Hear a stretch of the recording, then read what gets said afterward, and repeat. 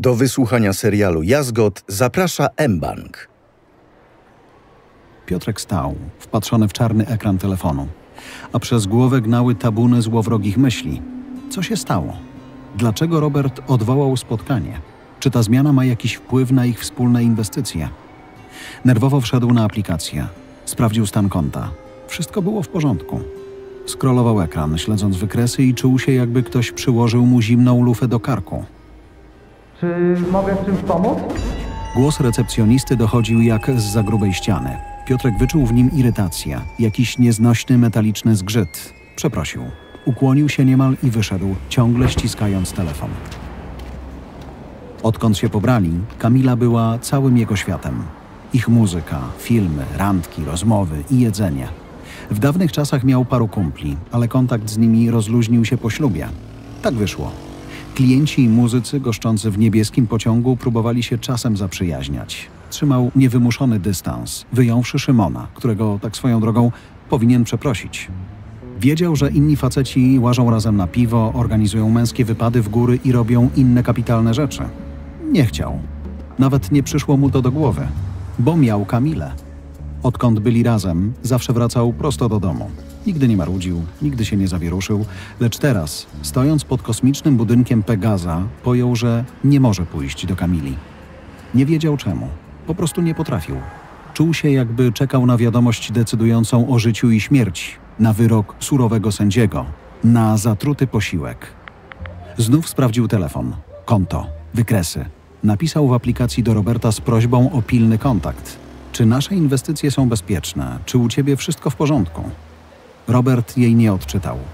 Może jest poza zasięgiem. Zacinał zimny deszcz. Piotrek parł przed siebie niczym posłaniec z wiadomością niecierpiącą zwłoki. Niósł jednak tylko lęk w drżącym sercu, ale i grozę na chodniku. Roztrącał przechodniów. Zaplątał się w smycz i pociągnął za sobą psa wraz z właścicielem. Chłopak na hulajnodze, którego nie dostrzegł, skręcił gwałtownie, złapał poślizg na mokrej ścieżce rowerowej i zleciał z pojazdu, koziołkując niczym Vin Diesel w jednym ze swoich filmów o pościgach i samochodach. Czemu Robert jeszcze nie odpowiedział? Co z moimi pieniędzmi? Tak dotarł na więzienną, gdzie czekała całkiem fajna knajpa w murach starego aresztu, jak sama nazwa wskazuje. Piotrek zresztą czuł się więźniem własnego strachu i podjętych zobowiązań. Usiadł, zamówił piwo, wypił duszkiem i wziął następne. Nigdy wcześniej tak nie postępował. Usiąść, napić się samemu to nie w jego stylu. Ciągle sprawdzał telefon i doszedł do wniosku, że napisze do Roberta jeszcze raz. Wysmarował długą wiadomość, gdzie znów pytał o pieniądze, o to co zaszło i czemu nie mogli się spotkać. W takich chwilach żałował, że nie może do niego zadzwonić. Głos Roberta, rzeczowy i serdeczny, przyniósłby mu spokój. Wiadomość, tak jak poprzednie, nie została odczytana. Na przemian zalewały go fale zimna i gorąca. Dłonie drżały. W głowie mnożyły się pytania. Dlaczego myśli tylko o sobie?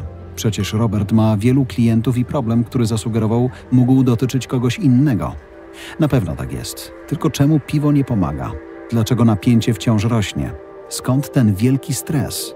Dlaczego ludzie wokoło uśmiechają się tak swobodnie?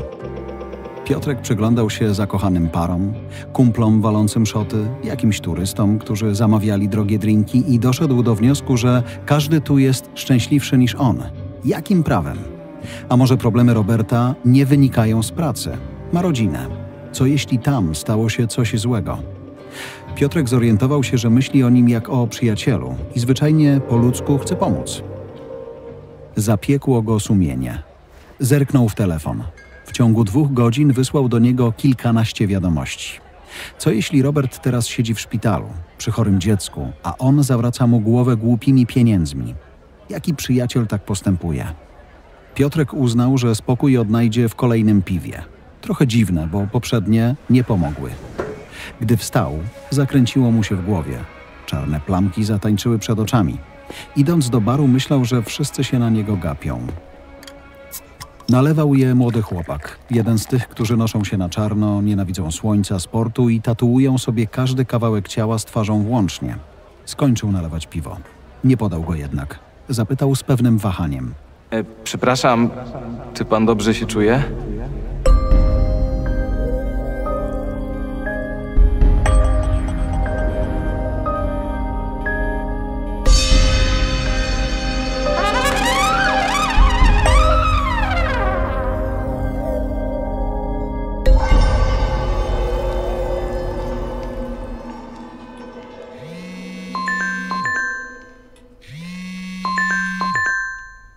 Robert zadzwonił następnego ranka, choć nie byli umówieni.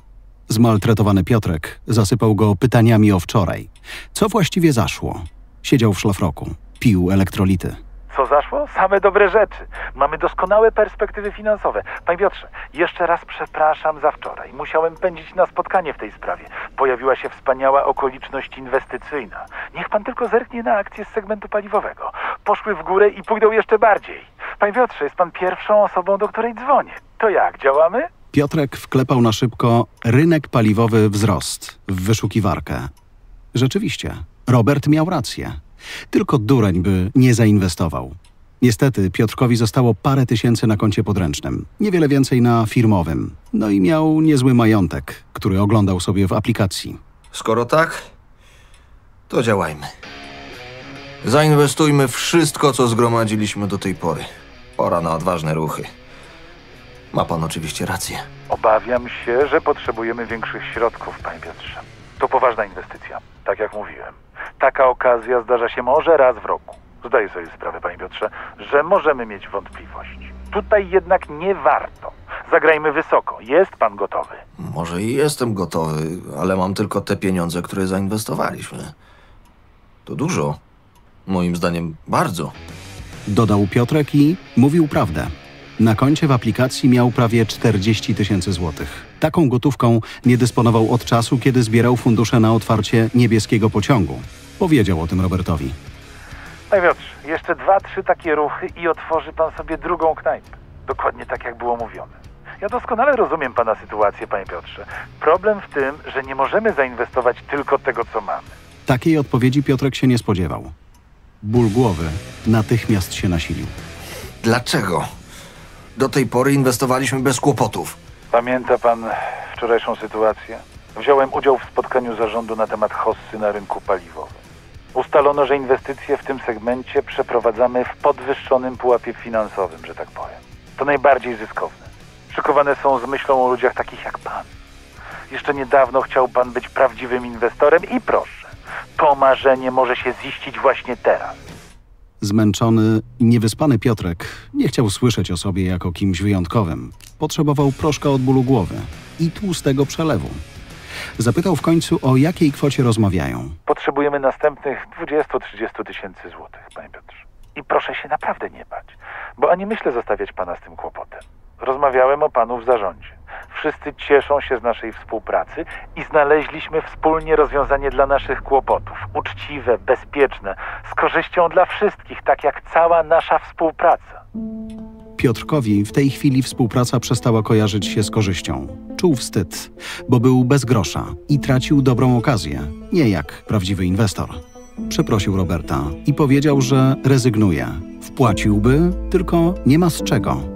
Przestraszył się, że teraz współpraca dobiegnie końca. Robert straci zainteresowanie takim żuczkiem jak on. Pan chyba zapomniał, z kim rozmawia, panie Piotrze. Od początku mówiłem, że pana przez wszystko przeprowadzę. Znaleźliśmy dla pana pieniądze. O, tak jak wtedy? Z tymi 300 dolarami na początek? Przypomniał sobie Piotrek. W jego sercu znów rosła nadzieja. Może wreszcie zrobi tę swoją wielką inwestycję. Robert wyjaśniał dalej. Mniej więcej. Tylko sprawa odrobinę skomplikuje się ze względu na wysokość sumy. Zaraz panu wszystko wyjaśnię. Na początek wpisze pan adres strony. I jak widzi pan? Udało się? Piotrek miał przed sobą ofertę chwilówki, pożyczki pozabankowej, co kojarzyło mu się z tymi nieszczęśnikami, którzy pożyczali tysiaka, oddawali dziesiątki tysięcy, a ze skrzynki pocztowej wypadały wezwania od windykatorów. Nie ma mowy, żeby zgodził się na coś takiego. Jest pan ostrożny. Zawsze to u pana szanowałem i znamy się już trochę. Naprawdę uważa pan, panie Piotrze, tak szczerze, że władowałbym pana na trefną pożyczkę? Nauczyliśmy się pożyczać w bankach, a na nich zawsze wychodzi się źle. Pamięta pan, jak próbowali nas powstrzymać na samym początku? A ile zarobiliśmy? O, No? o, nie chcę się zadłużać. Protestował dalej Piotrek trochę wbrew sobie, bo propozycja zdawała się kusić. Wypełni formularz, poda dane, kliknie i pieniądze zjawią się na koncie. Całe życie ciężko pracował. Dlaczego choć raz nie mógł mieć łatwiej? Nikt nie mówi o zadłużaniu. Przez pierwsze dwa tygodnie procenty są niskie, a ten czas wystarczy spokojnie na spłatę. I sporo panu zostanie, naprawdę sporo. Ja nie chcę pana namawiać, panie Piotrze, ale... No znamy się już trochę, prawda? Nie traktuję pana jak zwykłego klienta. Drugiej takiej okazji nie będzie. Piotrek wziął pożyczkę i przesłał na konto w aplikacji. Ten dzień zaczął się po prostu wspaniale. Piotrek otworzył oczy i natychmiast wszedł na aplikację. Taki miał odruch od wielu tygodni. Okazało się, że Robert miał rację. Kwota na koncie uległa podwojeniu dzięki akcjom firm paliwowych.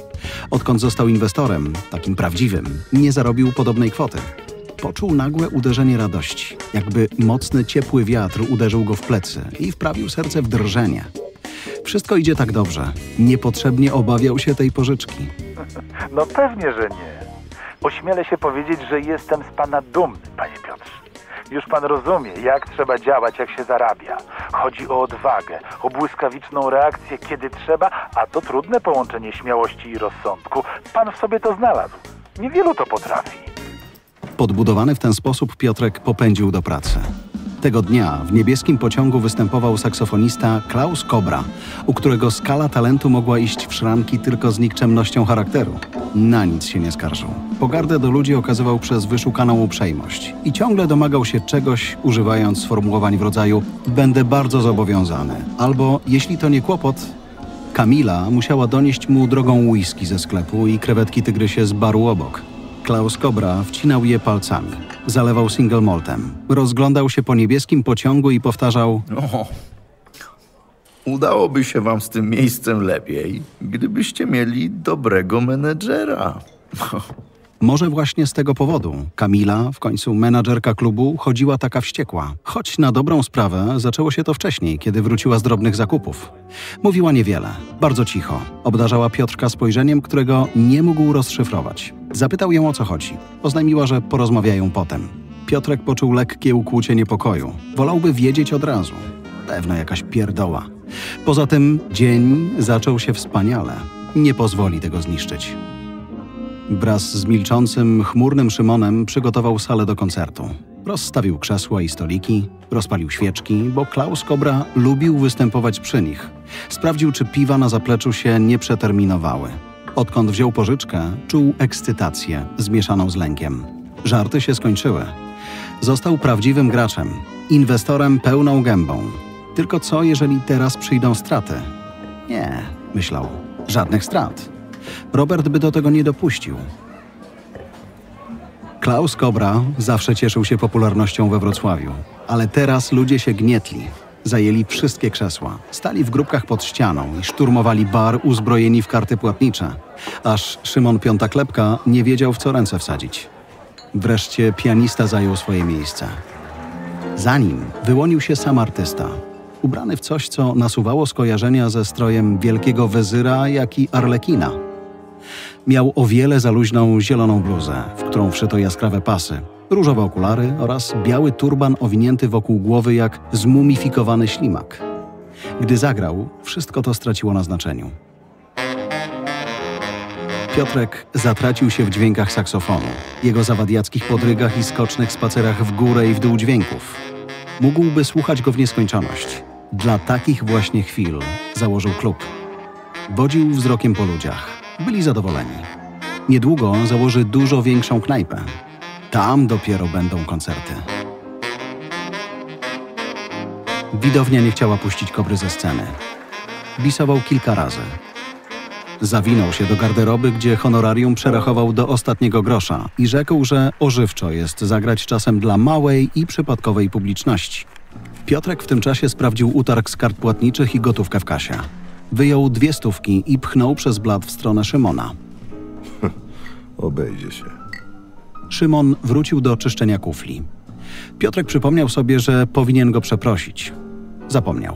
Miał tyle zajęć na głowie, ale zrobi to. Przecież nie teraz. Nie po tych dwóch odrzuconych stówkach. Zadba. Wyczeka właściwą chwilę. Naprawi tę przyjaźń. Z tym mocnym postanowieniem popędził do Kamili. Siedziała nad szklanką wody, co było dziwne, bo zawsze zasuwała jak każdy tutaj po zamknięciu klubu. Chciał podzielić się swoją radością, bo koncert się wyprzedał, bo zaraz będzie miał wielką i piękną niespodziankę. Twarz Kamili wyrażała jasno, że niczego dobrego nie oczekuje. Na stole leżała otwarta koperta, pismo od biura pożyczek, gdzie Piotrek parę dni wcześniej się zadłużył. Pchnęła ją w kierunku męża i powiedziała: Pokaż mi nasze konto oszczędnościowe. Jeszcze nigdy w niebieskim pociągu nie było tak cicho. Głośniki zamilkły. Szymon Piąta Klepka bez słowa czmychnął do siebie. Nikt nie rozmawiał przy barze. Czasem tylko dochodziło dalekie drżenie przejeżdżającego tramwaju. Kamila i Piotrek wciąż siedzieli naprzeciw siebie, przedzieleni stołem, ale i wszystkim, co w ostatnich miesiącach zaszło. Na blacie wciąż stała pusta szklanka. Leżały telefony i otwarty komputer, na którym Piotrek coś nerwowo pokazywał. Przestań już. Mdli mnie od twojego tłumaczenia się. Wstyd. Wielu rzeczy spodziewałam się po tobie, ale nie tego. Ale zrobiłem to dla nas. Zrobiłem dla ciebie. Tłumaczył się Piotrek i dalej próbował pokazywać wykresy na swojej aplikacji. Dla mnie? To bardzo ciekawe. Tylko ja nie do końca rozumiem. Więc jeśli się gdzieś pomylę, to popraw mnie proszę. Więc najpierw dla mnie wziąłeś wszystkie oszczędności z naszego konta, nie mówiąc mi o tym ani słowa, i wepchałeś je w jakiś szemrany interes. To nie jest szemrany interes. Sprawdziłem akcje w internecie i rzeczywiście poszły w górę. Zarobiliśmy, kochanie. Zarobiliśmy kupę pieniędzy. Czy to ten moment, kiedy powinnam już czuć się wdzięczna? Chyba nie, bo potem, powodowany małżeńską miłością, szczerością i w ogóle wszystkim, co dobre i piękne, polazłeś do jakiegoś lichwiarza. Gdzie go znalazłeś? Na słupie? Teraz twoja odpowiedzialność i troska wręcz odbiera mi mowę. Przeszło ci przez głowę, że nie mamy rozdzielności majątkowej i ten dług może spaść na mnie, Nic na ciebie nie spadnie. Za moment ją spłacimy. Piotrek powtórzył Kamili mniej więcej to, co powiedział mu Robert na temat progów kwotowych i poważnego inwestowania. Znów próbował wskazywać na wykresy. Ile to zarobił? Jak dobrze im się wiedzie? Nic mnie to nie obchodzi. Nie, nie, nie, nie chcę tych pieniędzy. Okłamałeś mnie. Jeden raz mogłabym wybaczyć. Tak, ludzie czasem kłamią, ale ty kłamałeś konsekwentnie przez wiele miesięcy. I zrobiłeś coś jeszcze gorszego. Okradłeś nas, Piotrek. W tej chwili Piotrek poczuł wstyd, jakiego nie znał nigdy wcześniej. Potężne, gorzkie uczucie wypełzło z serca, zalało głowę i zmroziło plecy. Wydawało mu się, że śni, że ta sytuacja dotyczy kogoś innego, jakiegoś bardzo złego człowieka, który z rozmysłem kantuje żonę. On, Piotrek, nigdy by przecież tak nie postąpił. A jednak Zrobiłem to dla nas. Żebyśmy mieli więcej pieniędzy. Chciałem ocalić niebieski pociąg. Zarobiłem kupę forsy, skarbie. Niedługo będziemy mieli kilka lokali. A miej ich nawet setkę. W zamian zniszczyłeś nas. Co się z tobą stało? Cały czas mówisz tylko o pieniądzach. Liczą się dla ciebie tylko te pieprzone wykresy. Wyszłam za innego człowieka, Piotrek. Przepraszam, nie wiedziałem. No, mogłem się domyślić. No ja naprawdę chciałem dobrze. A masz rację. Przepraszam. Wciąż siedział naprzeciw Kamili. Bał się, że żona zaraz wstanie i wyjdzie, by zniknąć na zawsze. Nie wyobrażał sobie życia bez Kamili. Zadzwoń do niego. Zadzwoń do Roberta. A jest prawie północ. Pewnie śpi. To się obudzi. Powiedz mu, że natychmiast wyjmujesz wszystkie pieniądze. Mamy zaplanowane inwestycje. O tym mówię. Żadnych inwestycji, chyba że chcesz następny raz zobaczyć mnie na sprawie rozwodowej. Wyjmiesz to, co masz i koniec tej zabawy. Piotrek wiedział, że Robert nie odbierze i postanowił zyskać na czasie. Doskonale rozumiał, dlaczego Kamila jest wściekła. Może jakoś się udobrucha. Ale na to potrzeba czasu. Nie wyobrażał sobie życia bez niej, ale pokochał inwestycje, ten dreszcz emocji, który im towarzyszył. Wyjął telefon, zadzwonił do Roberta. Nie było takiego numeru. Jak to nie ma? Co ty w ogóle mówisz? Rozmawiacie ze sobą od lipca. Zawsze on dzwonił. O umówionej godzinie. Nigdy się nie spóźnił. Odpowiedział Piotrek i streścił wyjaśnienie Roberta. Facet ma mnóstwo klientów. Nie podaje swojego numeru, bo dba o czas dla rodziny. Dobra sobie. W takim razie pisz do niego. No ale on nie odczytuje SMS-ów. Mówię ci, jest zajęty. Zawsze oddzwania. Czasem wysyła zaproszenie do rozmowy w naszej aplikacji. Pilnuje kontaktu. Kamila wstała. Nie paliła od lat, ale jej dłonie krążyły w powietrzu, jakby szukała papierosów. Nie, nie podoba mi się to ani trochę. Nigdy nie widziałeś tego faceta. Nie masz do niego nawet numeru telefonu. Nie wiesz nawet, gdzie pracuje. Przecież byłem u niego. Piotrek bronił się coraz rozpaczliwiej. Najchętniej powiedziałby, że po prostu zaprzyjaźnił się z Robertem i rozmawiają szczerze o wszystkim, co ważne. Kamili by się to nie spodobało. Mhm. I jak cię przyjął? Miły jest? Może jutro pójdziemy tam razem? Musiał wyjść z biura, Musiał ale... wyjść z biura. Coś podobnego. I to akurat dziwnym trafem wtedy, gdy byliście umówieni. Piotrek, ten cyrk kończy się teraz i tutaj. Rozumiesz? Chcesz się bawić w rekina biznesu, to beze mnie. Piotrek wstał. Objął żonę, która trwała sztywno w jego ramionach. Wyjął telefon. Potrzymał go chwilę w dłoni. Pomyślał o tym, co w życiu ważne. Może inwestowanie było tylko przygodą. Zarobił najwięcej forsy w całym swoim życiu. Szkoda, że to się kończy. Wiedział, że będzie tęsknił za tym dreszczem emocji i za rozmowami z Robertem, którego zaczął uważać za przyjaciela. Spojrzał w oczy Kamili. Poczuł wstyd. Westchnął jeszcze, jakby w ten sposób mógł odwlec to, co nieuniknione. I napisał w aplikacji Robertowi, że wypłaca wszystko. Jeśli chcesz dowiedzieć się więcej, jak chronić się przed cyberoszustami, wejdź na mbank.pl ukośnik samoobrona w sieci. Podoba Ci się ten serial audio? Oceń go zostawiając gwiazdki. Nie zapomnij też podzielić się swoim komentarzem i udostępnić odcinek znajomym. Wystąpili narrator Jarosław Kuźniar, Piotrek Kamil Kula, Kamila Kinga Suchan, Robert Daniel Kondraciuk, Szymon Zbigniew Dziduch, recepcjonista Michał Klawiter, barman Max Bogumił, Klaus Kobra, Albert Osik. Produkcja Voice House. Scenariusz Łukasz Orbitowski. Reżyseria Kamil Sołdacki. Udźwiękowienie Jerzy Pieniążek, Wojciech Sławacki. Muzyka Andrzej Żarnecki oraz utwory z bazy Audio Network. Montaż i zgranie dźwięku Kamil Sołdacki. Kierownictwo produkcji Dorota Żurkowska. Redakcja Agnieszka Szypielewicz. Konsultacja merytoryczna Magdalena Korona, Ewa Kultys, Jarosław Górski, Mariusz Gołębicki, Krzysztof Olszewski, Krzysztof Drost.